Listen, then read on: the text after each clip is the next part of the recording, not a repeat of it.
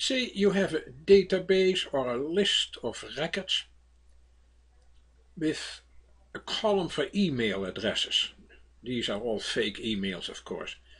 Uh, and, and let's say if they are uh, past due for something, you want to send them a reminder, an email reminder. I'm doing it for all of them, but you can put a filter in there, of course. So we are going to do that with VBA. We, um, we can do that with Outlook or in another way. I'm going to do it first to activate Outlook and send through Outlook a message to that email address 1234 in this case. So I'm going to VBA Alt F11 and I put a new module in there with a subroutine that I happen to call email reminder.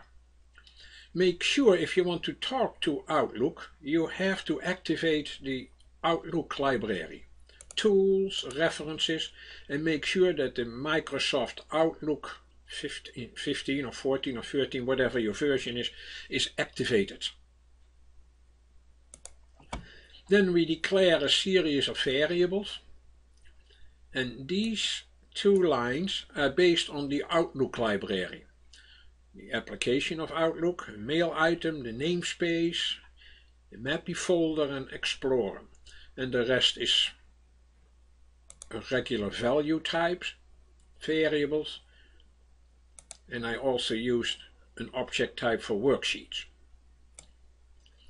So then I ask for an input box, do you want to send it directly or do you want to display it?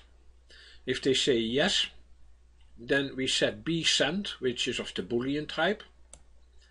We send that to true.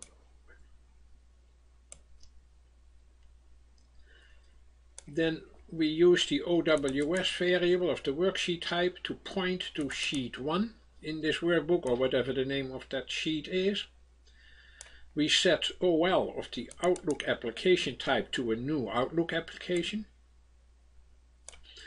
We set this one to the Outlook's application Active Explorer. And then there is a little problem. Maybe your Outlook is not open. If your Outlook is not open, the type name of O Explorer is nothing. Then I have to set the namespace to Outlook get the namespace space MAPI set OMAPI, which is of the Outlook MAPI folder type to the namespace get default folder, the folder input box. We set this one to the Explorer and close and if. That is only necessary if your Outlook is not open yet. Then we are going to say, take as a reference point from the worksheet we are on, range A1. So we start in A1 and we are going to say go to the second row, third row, fourth row and fifth row and find in column 1, 2, 3, 4, 5 the email address. So first of all we have to find how many rows we have in that database or record set. We store that in R dot that means take it from that range A1, take the entire current region up to the next empty column and empty row, find the number of rows and count them. Then loop for i equals 2 to r. Then loop for i equals 2 to r. That means I skip the label row or header row and I run to the very end. Take the date from dot cells i two, three, four, five in the third column. You could make a filter. If the date happens to be 30 days ago or whatever, then do the rest, otherwise don't do it. Set the recipient to column 5. The subject, I put an urgent reminder, whatever you want. In the body I put your due date is, and then I took the date, which is the value found in cells I3. If B sent is false, you want to display the email first. Then I set O mail to create an item. With that O mail, set the subject dot subject to as subject, set the body to as body, add to the collection of recipients this recipient, don't forget to display it. I would say do not send it. Why am I not using send? Because then you get each time a security question. Some program, in this case your VBA, is trying to do something to your Outlook. So that is a real important protection. It's very hard to bypass that. So I, I'm just going to display it and then you have to say each time, do I want to send it yes or no? This is not the ideal solution, so we will very soon say, how do you send it automatically? I cannot do that through Outlook. For Outlook is very well protected for interference from VBA code. And this VBA code is not in Outlook, so I cannot say to Outlook, don't worry about VBA code, for this is in Excel. So I have a problem there. And that's where the else clause is going to kick in. So if I want to send it immediately, automatically, then I have to do something else. Let's test this first. I made a shortcut to that one, that's Control Shift E, and I'm going to say just display it. So I click on no, and then I get this, allow access for, let's say for five minutes, allow it and it's going to create in my case four emails so you can send them individually.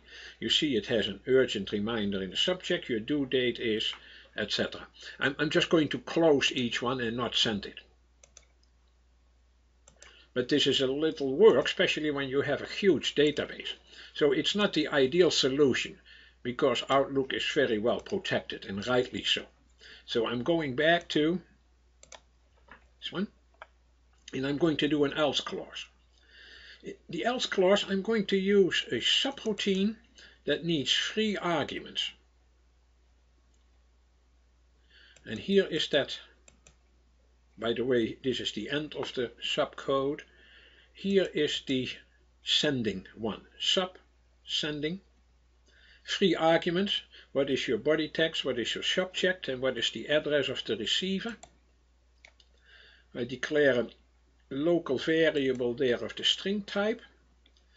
That SURL is going to be mail to colon use as address from what you passed through sending. The subject equals s subject and the body equals s body, all inherited from the arguments there. And now this is the secret. I'm going to use the shell function. I use shell execute. What the heck is that? It is not from Excel, it is not from Outlook, it is something that can handle all programs in your Windows.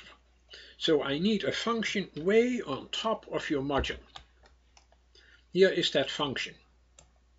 You have to do that before any sub we need to use the library of shell32 DLL. The problem is that the declaration of these functions is different since VBA 7. So if VBA 7 is on your machine, then this is the correct one. Otherwise, that is the correct one. Apparently on my machine this is not the correct one. That is why the line is red. Just ignore that for now. But you may need this one. I did both so you can handle it on older versions as well. The, the, the biggest difference is that the newer version uses this keyword. You have to type it exactly the way this is. So way at the end I split the line, space, underscore, enter, space, underscore, enter, otherwise I get a very long one-liner. And I did the same here. So I can use that function shell execute from now on. So we are going back to subsending and there is shell execute. You have to do a little more here. These are the arguments by value, by value the operation, etc. And there is your string, SURL. and the rest is all null string and normal focus and then because each time that execute has to run we say to Excel wait three seconds please maybe four seconds if you have a lot of information in there and attach files you need a little more wait time. And then do the send keys alt S. That's like send. So that one does not interfere with Outlook so I don't get security messages or alerts. So let's test it.